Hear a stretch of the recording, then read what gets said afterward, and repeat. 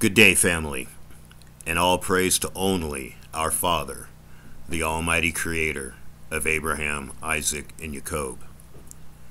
Let's pray, family. Psalms 82, 2 through 8. And I read How long will ye judge unjustly and respect the persons of the wicked? Selah. Judge the poor and fatherless. Do justice to the afflicted and destitute. Rescue the poor and needy. Deliver them out of the hand of the wicked. They know not, neither do they understand. They go about in darkness. All the foundations of the earth are moved.